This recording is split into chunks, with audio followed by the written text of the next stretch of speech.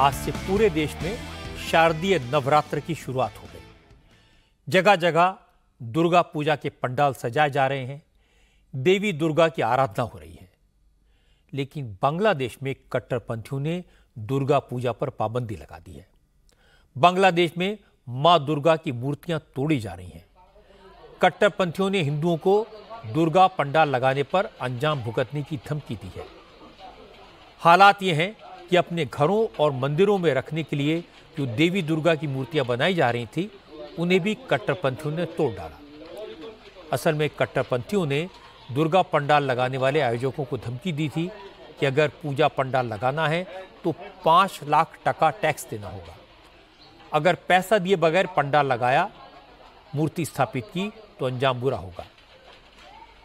आयोजन समितियाँ पैसा नहीं दे पाई, लेकिन आयोजन समितियों ने कई शहरों में चुपके चुपके मंदिर में स्थापित करने के लिए दुर्गा की प्रतिमाएँ बनवाई। इसकी खबर कट्टरपंथियों को लग गई और इसके बाद मूर्तियाँ बनाने वालों पर हमले किए गए। बांग्लादेश के किशोरगंज, कोमिला और नरेल जिलों में माँ दुर्गा की प्रतिमाएँ खंडित की गई और कट्टरपंथी मुसलमानों ने देवी माँ की टूटी हुई मूर्तियों की वीडियो सोशल मीडिया पर अपलोड करके हिंदू समाज को धमकियाँ दी।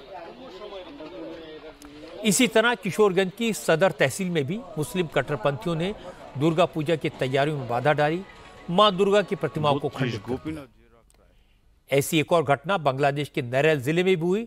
नरेल की मीरापाड़ा सर्वजनीन दुर्गा मंदिर में दुर्गा पूजा की तैयारियाँ चल रही थी।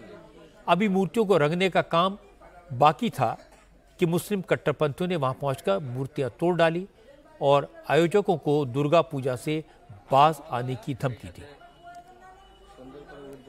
बांग्लादेश के हिंदुओं के लिए दुर्गा पूजा साल का सबसे बड़ा त्यौहार होता है।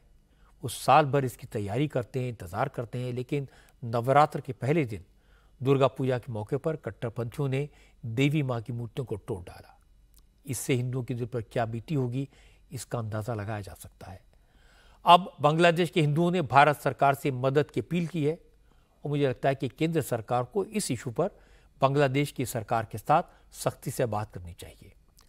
आज ये भी खबर आई कि बांग्लादेश ने भारत, ऑस्ट्रेलिया, बेल्जियम, पुर्तगाल और यूएन से अपने राजदूतों को वापस बुला लिया है।